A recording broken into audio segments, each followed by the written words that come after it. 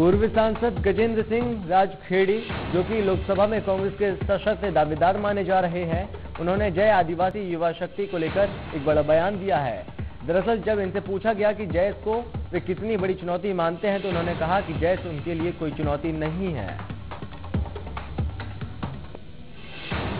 जयस के राष्ट्रीय संरक्षक हीरालाल अलावा के मुख्यमंत्री से मिलने और धार लोकसभा सीट से कांग्रेस की तरफ़ से जयस को टिकट मिलने की संभावना पर गजेंद्र ने कहा कि वो जहाँ जाना चाहते हैं जाएँ, उनके लिए रास्ते खुले हैं। यानी कि कुल मिलाकर जयस और कांग्रेस के बीच तालमेल नहीं होने को लेकर गजेंद्र ने ये संकेत दे दिए हैं।